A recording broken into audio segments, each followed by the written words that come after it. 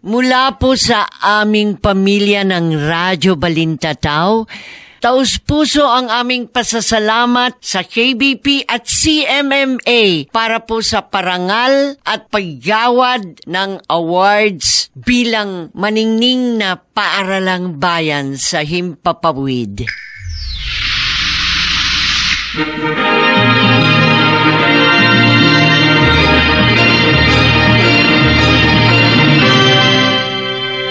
Inihahandog ng Dialect Phase, ang Philippine Center of the International Theater Institute at ng Earth Savers Movement sa pakikipagtulungan ng NBC, ang Manila Broadcasting Company ang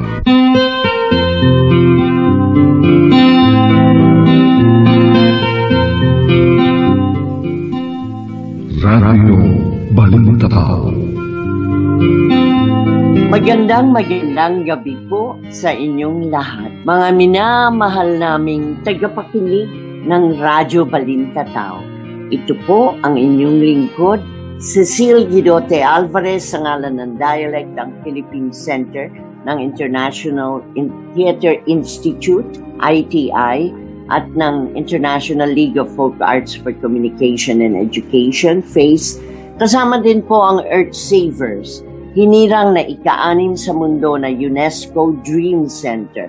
Pinarangalan din po na UNESCO Artists for Peace. Buong lugod po namin kayong inaanyayahan na samahan niyo po kami ngayong gabi sa pag-uumpisa po ng ating napakahalagang serye ng pagpapakilala, pagsaludo, pasalamat at uh, pagkilala sa Outstanding Artist, Theater Artist 2020 na ginawaran ng Lampara ng Kultura at Sining. Ito po ay pinipili ng uh, Executive Board ng International Theater Institute Philippine Center sa kanilang paglilingkod bayan na tatangi lalo na ngayong pandemya na hindi man lang uh, naging uh, dahilan para matigil ang kanilang paglilingkod sa bayan sa mundo para isulong ang sining na puwersa ng edukasyon.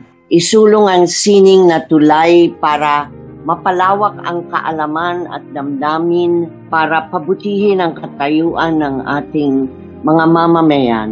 Hindi lang po mga Pilipino, ngunit sa ibang parte pa ng mundo, talagang siga ang Pinoy. At ngayong gabi, ang ating pong tampok na Outstanding Theater Artist, awardee ng Lampara ng Kultura at Sining. Sinasabi po natin sila ang ilaw na talagang gumagabay sa panahon ng kadiliman, pighati at uh, napakalungkot na katayuan ngayon ng mundo. Ngunit nandyan po sila at ngayong gabi ang ating pong kausap, ang ating pinagbubunyi ay walang iba kung hindi isang natatanging Pilipino, alagad ng sining, guro, at sa kauna-unahang pagkakataon tayo po ay pumipili ng isang ginagawang inspirational model para sa special arts education. Hindi lang ho edukasyon, natatanging tinatawag na lifelong learning caring para sa mga persons with disabilities or in difficult circumstances. At yan ay walang iba kung hindi si Professor Dr. Reggio de la Cruz. Uh, alam niyo po, sa mabuti na lang meron po tayong Zoom kahit na nandun po siya sa Chicago, ay ating makakapanayam, makikipagkwentuhan sa atin upang ibahagi ang kanyang mga likha, mga ginagawa na talagang pambihira at talagang maipagmamalaki ng ating bansa. Radio Ray de la Cruz, Professor Dr.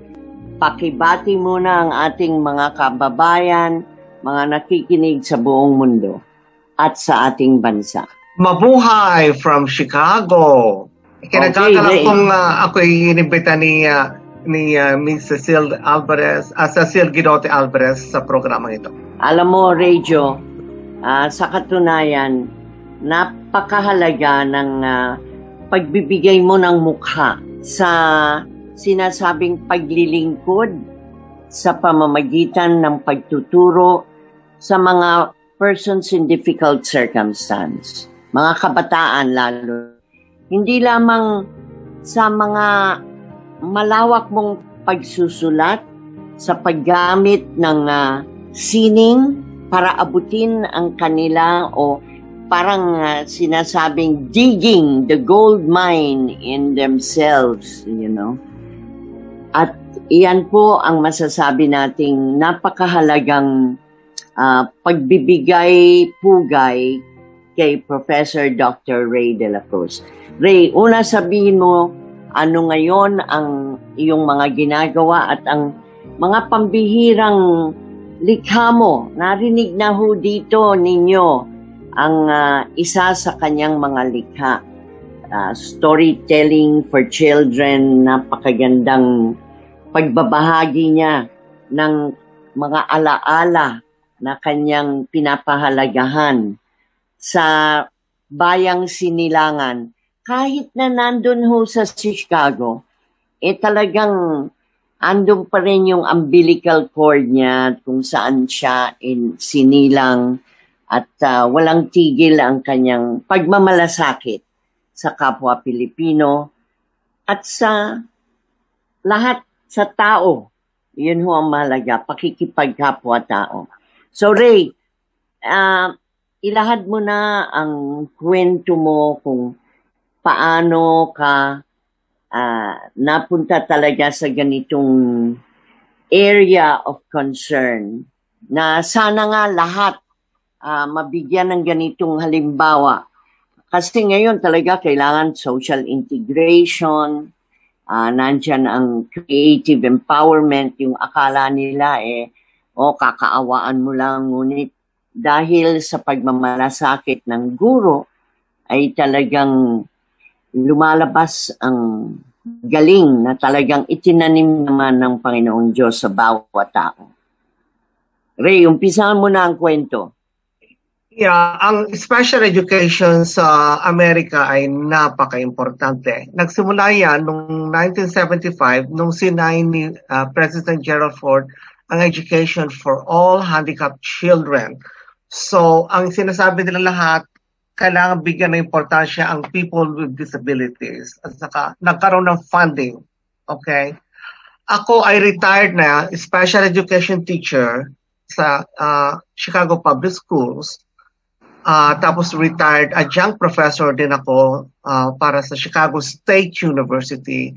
Uh, itinuro ko yung mga would-be teachers at saka teachers, some, yung ilan nga principals, tinuro ko ng uh, special ed. Okay? Uh, ang, nagkamit ako ng Doctor of Education o yung tinatawag nilang EDD, Doctor of Education, sa uh, Illinois State University. Uh, that's the oldest public university in Illinois. Uh, it was founded in 1857. So it started as as a teacher's uh, school. Okay, nasa Normal, Illinois. Uh, ang uh, ang katulad ng uh, Philippine Normal University niyan, ang tawag doon Illinois Normal I think uh, Illinois State University. Bakit na tinatawag na normal? Hindi yung abnormal o normal na uh, dahil ang ang tawag nila sa sa France ng uh, teachers school is École Normale. Kaya ang ang Illinois State University ay nasa bayan ng Normal, Illinois. Okay. Ngayon, uh, kailangan kami mag uh, gagawa ng doctoral dissertation. So, first year pa lang kami, sinasabi nila sa amin kung uh, ano, anong tinatanong na nila kung anong gagawin ninyo. Kasi usually, diyan ang uh, nahirapan ng mga doctoral students yung kanilang dissertation. Okay? pero sinabi ko kay Dr. Lani Moro, yung aking advisor, gusto ko talaga people, uh, arts for people with disabilities. That's my platform. I told him that. Sabi, okay, okay, okay, we'll work something about that. Inirekomenda ako kay Dr. Francis Anderston sa uh, College of Fine Arts.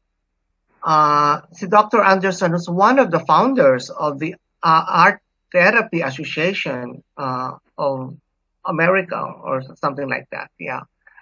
Tapos, ginawa akong research assistant ni Dr. Uh, Anderson. Uh, sumulat ako ng mga abstracts uh, tungkol sa music uh, music therapy, drama therapy, art therapy, everything, all kinds of uh, disabilities, physical disabilities, learning disabilities, uh, kaya wide range siya. And that was a good training. Yung palang tinulat libro, of course, binagay pangalan ko na research assistant, ginagamit hanggang ngayon na parang Biblia sa art therapy. Okay. So ngayon, ang sabi ko kay ano, Dr. Morog, gusto ko talaga susulat ng uh, doctoral dissertation sa uh, sa creative drama. Okay? Ang uh, definition of creative drama is it's a, is a type of theater used for educational purposes that helps children work on social skills and academic subjects using theater games and improvisations while being led by a trained instructor. Okay. So isang uh, isang area ng uh, ng education niya, isang area ng uh, ng theater. Okay? Uh, so ang ginawa ko, ang gusto so, sanang gagawa yung qualitative research, yung mag-observe ka, gagawa ka ng ng uh, questionnaire and everything. Pero sa Dr. Dr. Moro, that will take you a long long time. And nasa nasa grant kami, uh, may meron kami grant sa federal government, he had to show them na kung ano yung mga resulta. So I settled with a quantitative research. Sabi niya mas ma, ma mas ma, mas madali. Uh, madali 'yon, mas madali. Okay. Hmm. So ngayon, uh, ang ang uh, ang title ng aking doctoral dissertation ay The Effects of Creative Drama on social and oral language skills of children with learning disabilities. Uh, lumabas yan sa uh, peer-reviewed journal. Ang ibig sabihin ng peer-reviewed journal, ini-evaluate lang ng mga eksperto sa field. Okay, so napakahirap na pumasok. Uh, lumabas sa Youth Theater Journal. Uh, kasama kong sumuna si ang aking mga professor sa special ed sa Illinois State University si Dr. Mingon Janlian at of course Dr. Lani Moreau. Okay? Lumabas noong 1998. Okay? Ang ginawa ko sa aking experiment, uh, uh, dalawang eskwela ang pinag-aralan ko sa Chicago. So this this was an experimental study. Uh, yung isa, uh, nagkaroon ng creative drama, yung isa, walang creative drama. So, kinumpare ko sila. At uh, maganda ang resulta ng uh, ng aking uh, research, okay? Talagang uh, uh, uh, talagang talagang sinasabi nito na importante ang creative drama sa buhay ng mga bata, okay? Sa nagkaroon ng creative drama, na-improve ang kanilang pagsasalita uh, at ang kanilang social skills. Uh, hindi hindi lang ito observation, may mga test ako, may mga assessment akong ginawa doon. Okay. So dahil hindi, kung no quantitative research ito no, so numero lang. You know the the the, the numbers don't tell e- everything, okay? So ginawan ko ng qualitative uh, uh, angle, okay, ang ginawa ko, in-interview ko yung mga batang nagkaroon ng ng ng experience drama, okay. At uh, may mga may nagsabing mga bata na may ang natutuhan nila is they learn how to wait uh, to uh, wait for their turn. Okay? Magandang disiplina 'yan. Okay pa sa mga mm. bata. At saka sabi ng isa natutuhan niyang maging ah, maging ah, listener o na, makinig sa ibang Makinig, tao. oo. Oo, sa mga ibang tao. So may mga may mga uh, talagang ano, yun ang qualitative point of view noon. Okay. So uh, ito ang ano, kasi yung creative drama, kailangan pinag-aaralan yan sa kolehiyo. Hindi lang yung basta sasabihin ng teacher, oh sige, magdrama tayo, hindi. o kailangan, ito, ang creative drama, itinuturo sa colleges of education. Uh, Tama. uh, colleges of education, okay? At uh, ito ay isang strategy na pwedeng gamitin hindi lang sa mga batang mga may disabilities, pero sa lahat, ng bata. Oo. Okay. At impor- importante importante importante ito Cecil dahil ngayon dahil sa internet, yung Facebook, wala na silang face to face Social interaction, oo. Very Mm. limited. Oo. At saka ito, itong creative drama sa Illinois State University, ino-offer sa theater department. Talagang may professor na nagtuturo. In much the same way na kailangan uh, itinuturo nila ang children's literature sa colleges of education, kailangan din nilang ituro ang creative drama. Creative drama. Alam mo, natutuwa talaga ako, ah, Radio, dahil ah, matagal nang ah, sa palagay ko kung ngayon maririnig nila ito at mailalathala lalo na, matagal na ho naming sinasabi yan sa DepEd. Sa, nung nandun rin ako, nagsalita ako sa Philippine Normal, na it must be ah, hindi lang elective pero dapat lahat ng mag-aaral na maging guro, maging social worker ay merong creative drama program. Kasi ginawa na namin ito sa La Mama uh, when we were in exile.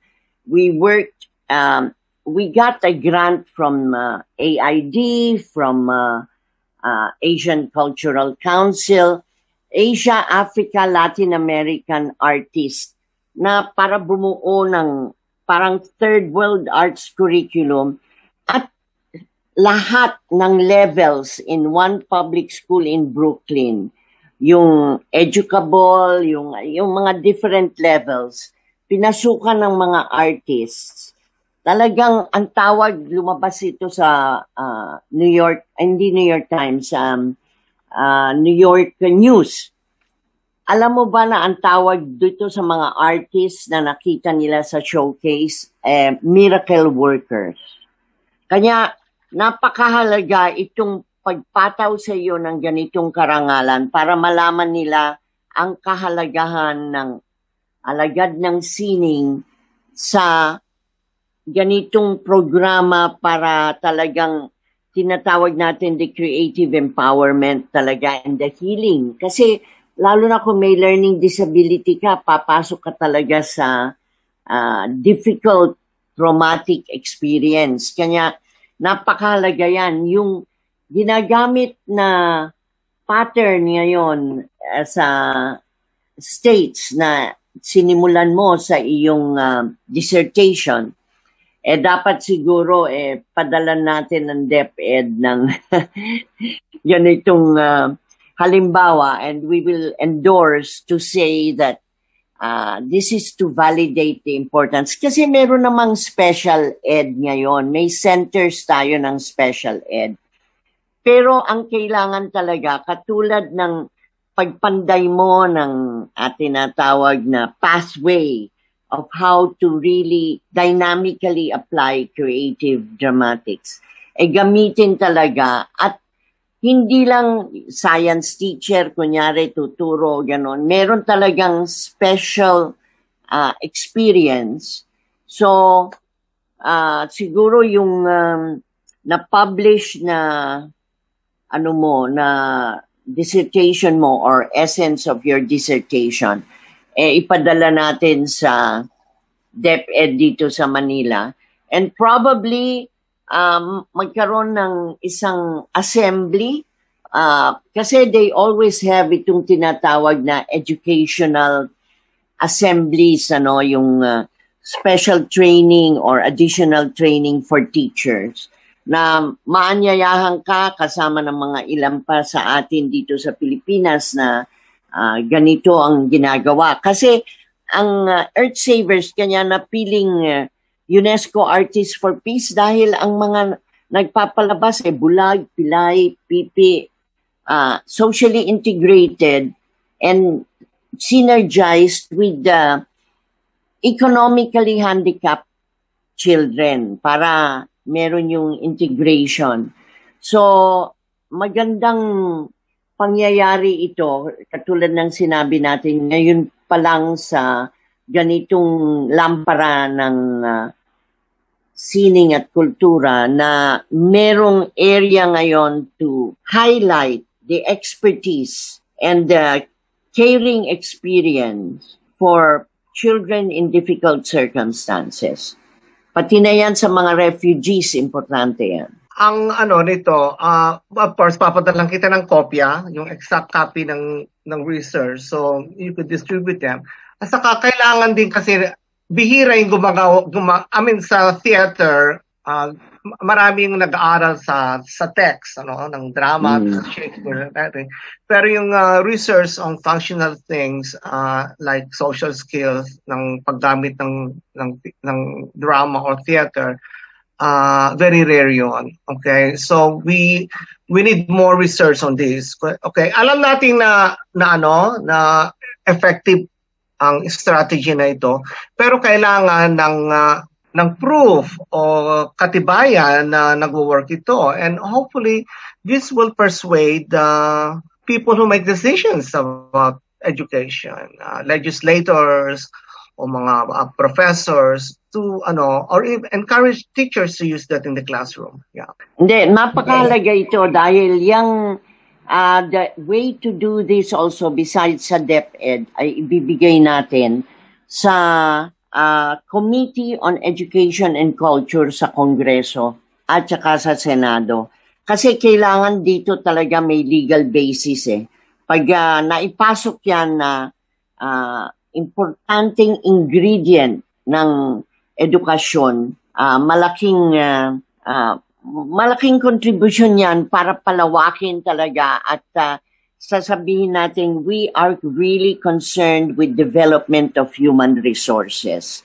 Ayan ay talagang a very major investment and the fact na meron talagang budget, merong budget ang special education dito, pero minimal and the strategy doesn't use yet as a spine creative drama para talagang matuto rin ang mga guro na involved in special ed. Kanya napakahalaga niyan.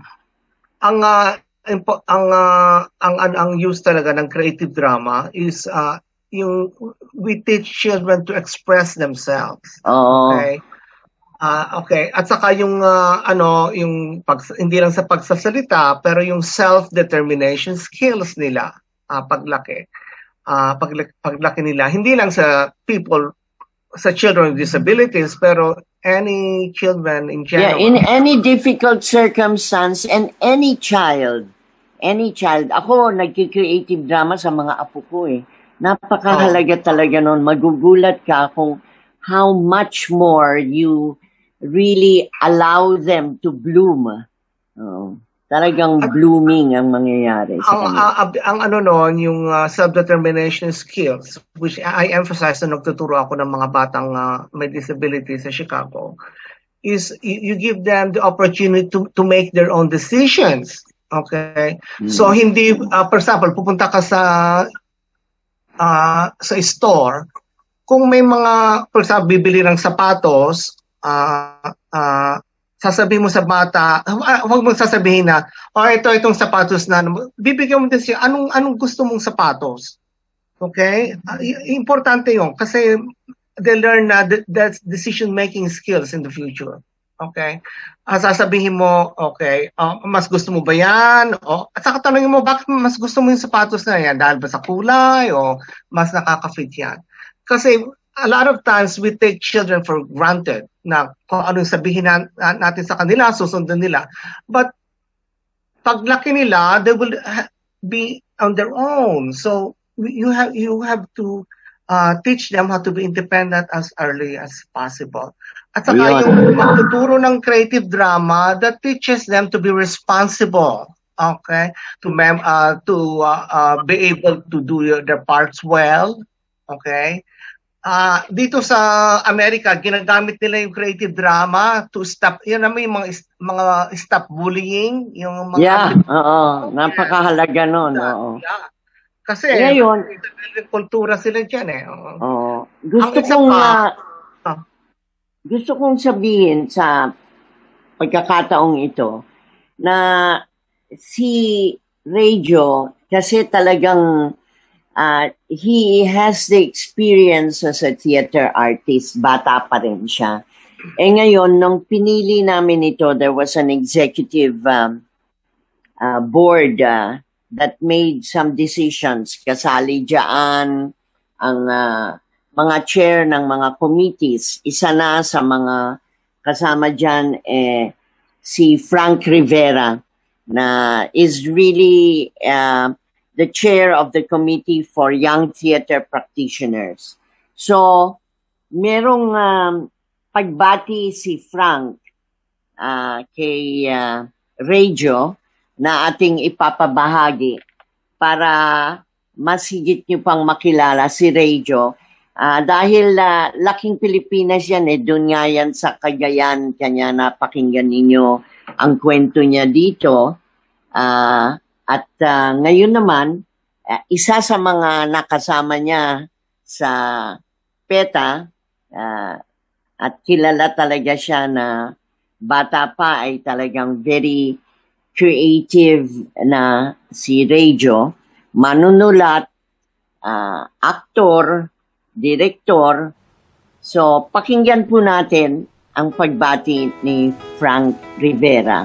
Lampara ng kultura at sining para sa Special Art Education. Gawad kay Ray de la Cruz. Isang manunulat na galing sa PETA. Isang kabataan mula sa San Beda. Malikhaing anak ng rehiyong Amianan. Bayang Ballesteros, doon sa Cagayan. Batang mandudula siyang nakilala. Panahong martial law, dekada 70, nang kanyang harapin ang mga pagsubok at ipinalabas ang tapang ng loob. At si Rey de la Cruz ng magibang bansa. Ang kanyang talino ay lalong nahasa. Kanyang edukasyon umikot sa sining at ibinahagi ang kanyang aralin. Mga natutuhan sa ibayong dagat sa sariling bayan na kapag paangat. Lamparan ng kultura at sining kay Ray de la Cruz. Nakalaki pitong pagbati kong lubos. Mabuhay! Ju de la Cruz.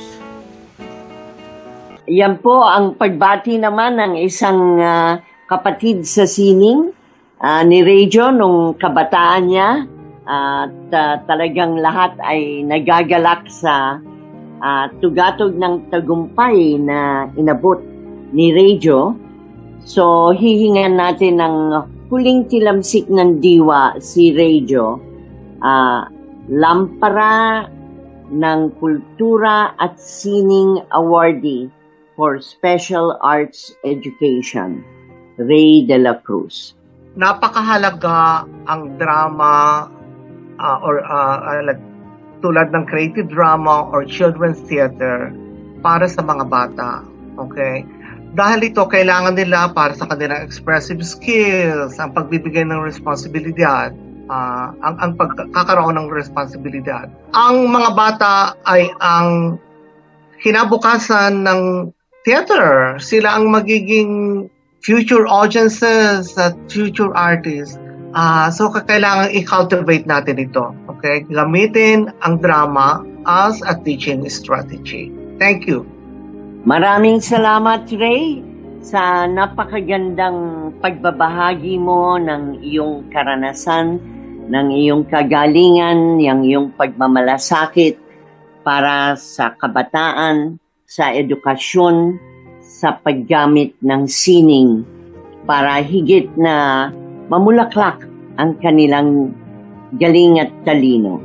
Ito po ang inyong lingkod, Cecil Guidote Alvarez, sa ngalan ng Dialect ng Philippine Center ng International Theatre Institute na pinamumunuan ngayon ni Lisa Makuha Elizalde, kasama si Jolad Santos, kasama rin po si Frank Rivera, si um, Fry Paulo Casurao, at uh, marami pa po uh, mga kasama natin sa ITI uh, sa awarding ceremonies, makikilala po ninyo lahat sila.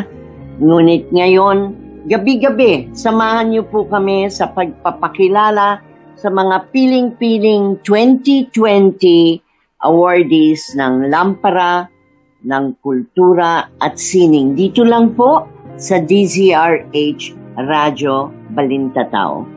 Siyempre po, nagpapasalamat tayo sa inyong lahat na walang sawang nakikinig at sasabayan po tayo sa ating uh, ugnayan sa mga Lampara Awardees ng Philippine ITI. Uh, Siyempre, nandyan din po ang Earth Savers na itinatag ng dating Senador Hierson Alvarez. Nagpapasalamat po kami sa aming mga kakampi para ihatid sa inyo itong paaralang bayan sa Himpapawid. At yan po ay ang Tesoros House of Native Arts and Crafts. Nandyan din po ang Mapicon. Uh, nandyan rin po ang uh, Casuela Spanish Colonial Cuisine. Uh, dyan sa Ortigas Center, Sapphire Block, Sapphire Center. At uh, para po sa uh, social media platforms ay kontakin po ninyo ang info at abacussolutions.ph. Siyempre, nagpapasalamat po tayo sa ating technical production supervisor, Salvador Bong Moyar, ang ating executive assistant, Susan Claudio ng Caffeinated Palette, at si Hexelon Alvarez para sa ating Earth Savers National Youth Director. Paalam po, patnubayan nawa tayo ng Panginoong Diyos. Stay safe, keep healthy, at mabuhay ang mga alagad ng sining sa kanilang kontribusyon para sa ikabubuti ng ating mundo, ng ating bansa, para sa kapayapaan, para sa katarungan, para po sa likas kayang kaunlaran.